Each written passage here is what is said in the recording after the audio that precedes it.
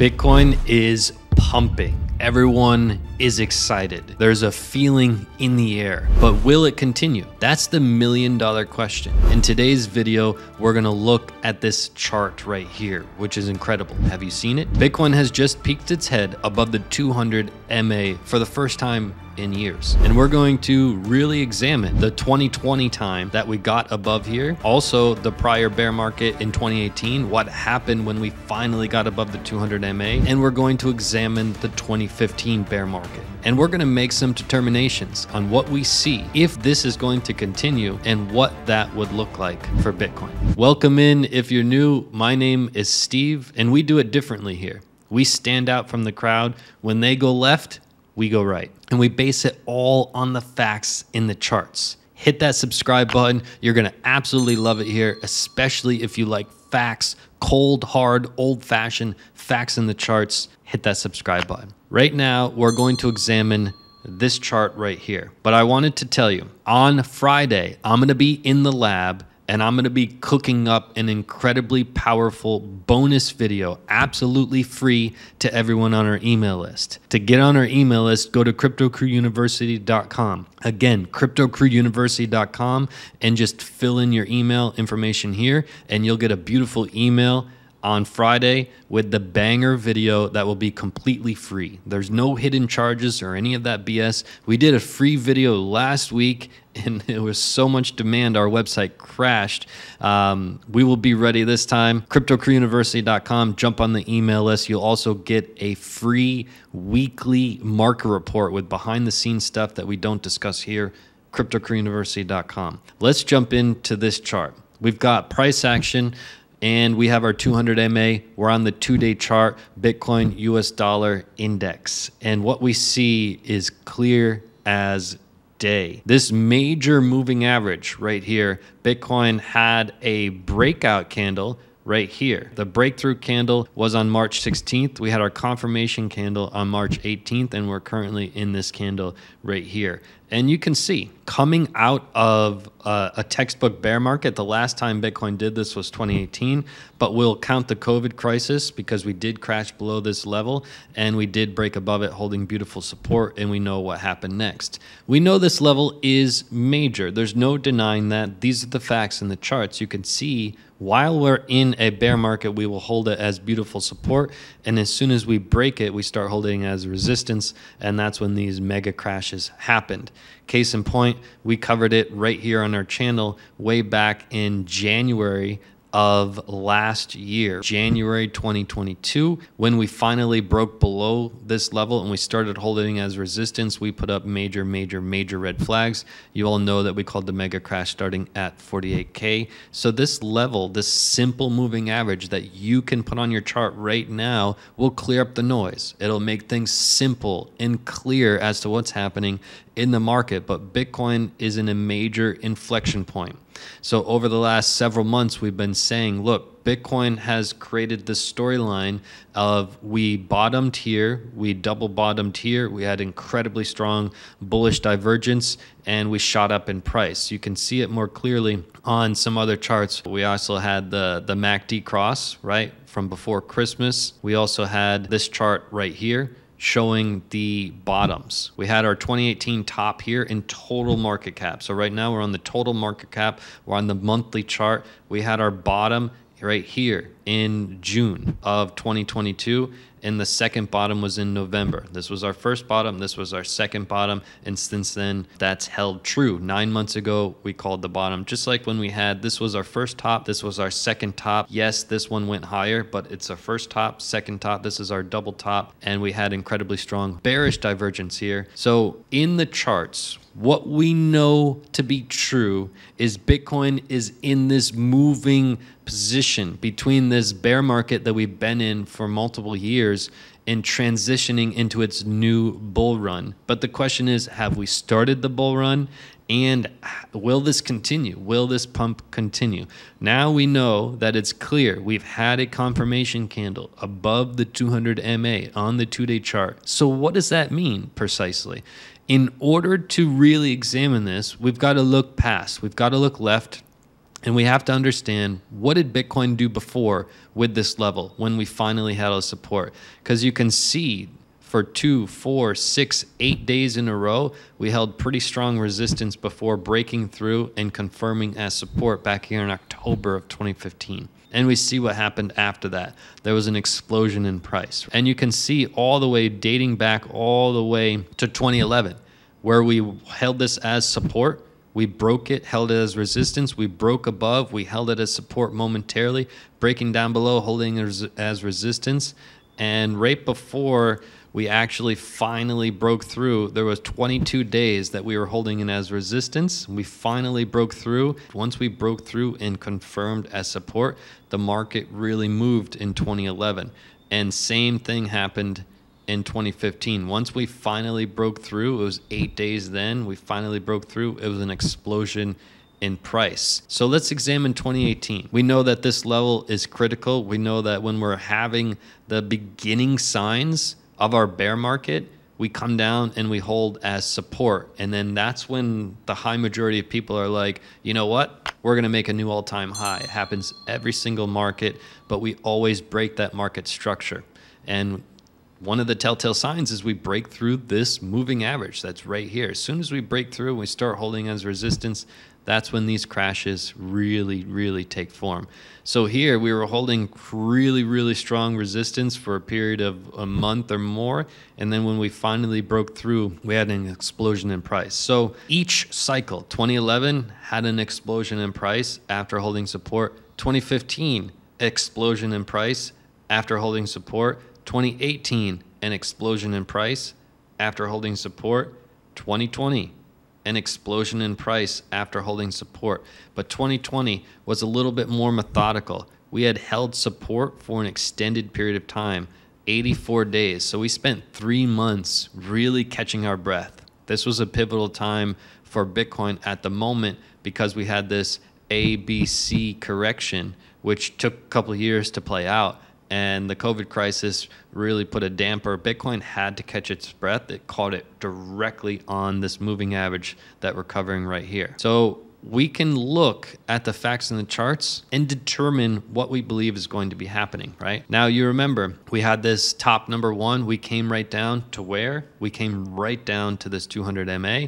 We bounced all the way back up. We had our double top. And then what happened? We crashed all the way back down to where? We crashed right down to our 200 MA. So if you're looking at this and, and you're thinking to yourself, ah, this moving average is not important you're not looking at the facts. The facts are the facts. This is a major moving average. It keeps things really simple and clean, which is why you just subscribed because you like this kind of content, which covers just the facts. I don't tell you what you want to hear, I tell you the facts. So here we are today, and we have our first confirmation candle.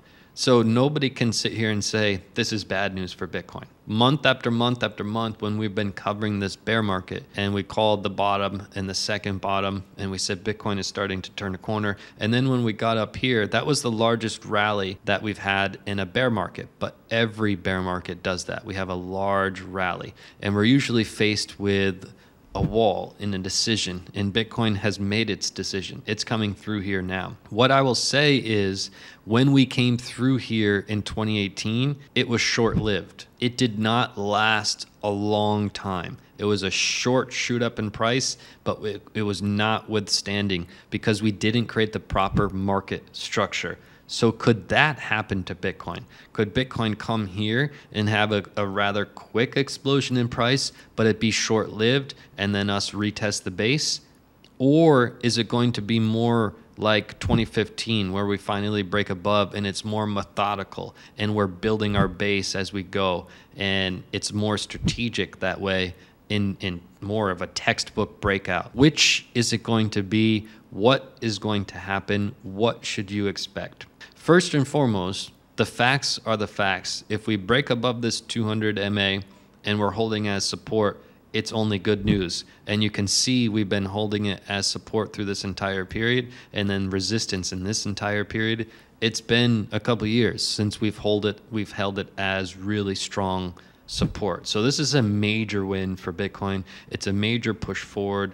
Um, you can see in one of the other charts I'm going to show you that Bitcoin was faced with a critical test. You can see in the Gaussian channel here on the five day. Did you see these yellow box right here in 2015? The yellow box right here and the yellow box right here. We were faced with the same test every single bear market. We have the largest bear market rally, and Bitcoin was faced with a test. Are you going to get through the Gaussian channel or are you going to get rejected? from the Gaussian channel. 2015, we were rejected from the Gaussian channel. 2018, we got through the Gaussian channel. The bad news about 2018 it was short lived. The good news about 2015, even though we got rejected, it helped us to build proper market structure. Thus, the bull run was substantially stronger because we had that strong foundation. Picture a house. If you're building a house and you just want to build it quickly, yeah, you can have a tornado come through or windstorm and just knock down the house. But if you build the proper structure and foundation and you spend time methodically doing that, it doesn't matter what kind of storm is going to come in. It's a long, withstanding test of time.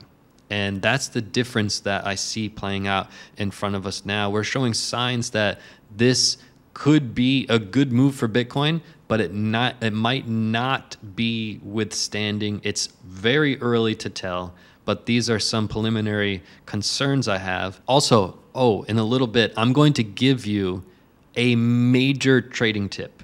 So stick around to the end of the video, a major trading tip that could help you tremendously. It's going to be completely free, straight from my heart to you. Uh, as you know, I started trading when I was 16 years old and I was ridiculously terrible. I made every stupid, silly mistake you can possibly make as a 16 year old kid. And I want to share one of the biggest ones, one of the biggest lesson learned that will save you a ton of money. So I'm going to be doing that in a moment. Also, if you love charts and you love facts in the charts and you want clear and concise data that you can look at to help you make better decisions, we put out a ton of value on Twitter. Crypto Crew U on Twitter with pure cold hard facts in the charts that will help you tremendously. Crypto Crew U on Twitter. So, what do we make of all this? We know that my position hasn't changed in many, many, many months. Has it changed now that we've moved above this 200 day moving average? What do I think now? Well, we're Mr. Consistency. Way back in, let's see what time it was. It was in June of 2021. We put out a major warning that Bitcoin entered the Gaussian channel, our quicksand. So a couple years ago, we said, hey, watch out. The mega crash here, we called this bottom the second bottom and we haven't changed our tune, but we will when the facts in the charts have new facts. This is a new fact. So have we changed our tune? My stance is look, the worst case scenario is still Bitcoin could retest its base. That's still a potential. How much of a potential? That's losing some steam, but it's still a potential. But we've always said the bull run, it looks like it's going to start in 2023. We said this nine months ago. We haven't changed that, although the whole world was against us when we made that call first. But it was based on all the facts that we study in the charts. It's looking more realistic now. It is up for debate whether the bull run has officially started. There are a lot of charts that we're going to cover, including this one where this only flashes when the bottom is in. This has our complete double bottom uh, textbook double bottom. And we have other charts like this one, which flashed in November of last year that the bottom was in, that the bull run is on its way. But has the bull run officially started? It's really close. I'm to be doing another video today with some trouble that remains right above our head and how I think we're going to perform with that. So make sure you hit the subscribe button. And now I'll get into my trading tip for you. But getting above this 200 day moving average is major. We still need to see how it's going to play out over the coming weeks to see if this is going to be a short lived rally or a long standing one. But either way, this is a major step in the right direction for Bitcoin.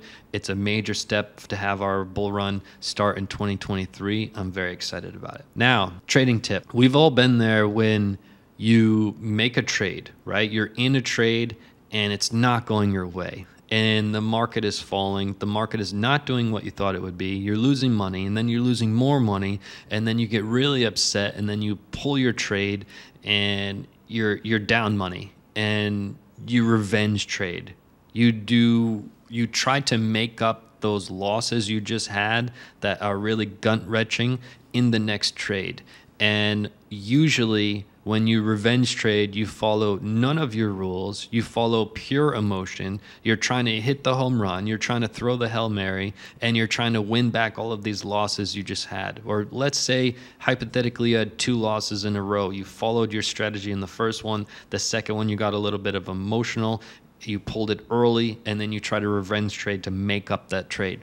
We've all been there. So, what should you do instead? You need to have a bulletproof plan. You have to have all these cold, hard steps you follow no matter what. No matter if it's Monday or Tuesday or Wednesday, no matter if it's sunny, no matter if it's windy, it doesn't matter what it is. These are your cold, hard rules to follow in trading. You make a trade if X, Y, and Z are met, and then you follow it if X, Y, and Z are withstanding. You enter the position only if this, you exit only if this, and you follow those rules no matter what. That's the only way to counteract it. There's a reason 90 plus percent of people will fail as traders. It's emotion. Emotion is a money killer. If you want to light your money on fire, continue trading with emotion. If you don't have a strategy, which the high majority of people don't, let's face it, let's be honest. There's a there's a good chance you don't have a strategy. If you're my student, you've got an incredible strategy. Even if you've taken some of my free courses, you have a little bit of a strategy.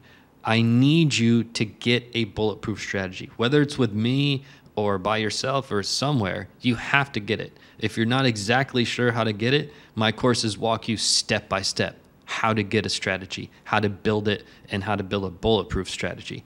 But you have to have a strategy and you have to follow it no matter what. If discipline is your weakness, you shouldn't be a trader because discipline has to be your strength in order to be a successful trader. Otherwise, you're going to be revenge trading, trading on emotion, and that is a very dangerous step. Now, if your question is, okay, Steve, all of these sounds sounds great. This is super helpful, but what should I do now? Uh, should I get into Bitcoin now or should I wait? That means you haven't been following my channel. When we were down here at 15,000 and 16,000 this entire time, every single video I made, I said repeatedly, like a broken record, it's more risky to be out of Bitcoin than to be in Bitcoin. I said it time and time again. I said this was not financial advice. I'm just trying to help people this entire period here when Bitcoin was down here. So if you're still not in, you didn't follow us then. Now, if you're still not into it, this is still the very, very beginning of the bull run, or if not, the very, very, very, very, very tail end of the bear. So it's still a great time in the big picture. If you're looking to make a Lamborghini tomorrow and you're looking to make big dollars, you shouldn't be in crypto. You're not here for the right reasons. But if you're in it for the right reasons and you're in it for the next several years, we either just entered the bull run or the bear market is just about to be over. So I think that answers your question. I'm going to try to do another video today. Hit that subscribe button. Make sure you go on the email list. I'm going to be dropping a bomb on Friday. I'm going to be in the lab until Friday, making it special for you, for our email list people for free. Hopefully, our site doesn't crash again. CryptoCrewUniversity.com. Plug in your information. I'll see you right back here in the next video. Peace and love to the fellow underdogs. Do you want to know when to buy and when to sell? Click this video right now.